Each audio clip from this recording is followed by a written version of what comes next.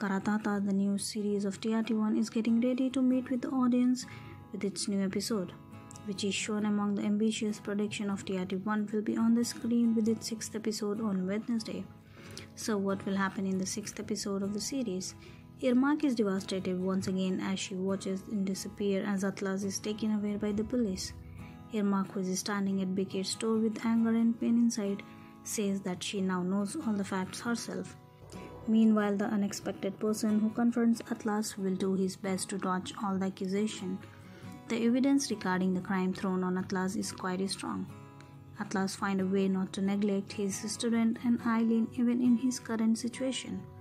Bekir, on the other hand, takes what's happened to Atlas as an opportunity and provokes the parents of the student.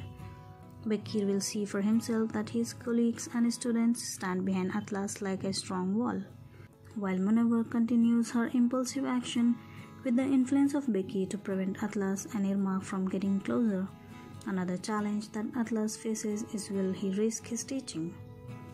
So friends, what do you think about this new episode of Kara Tahta? Please share your thoughts here and don't forget to subscribe.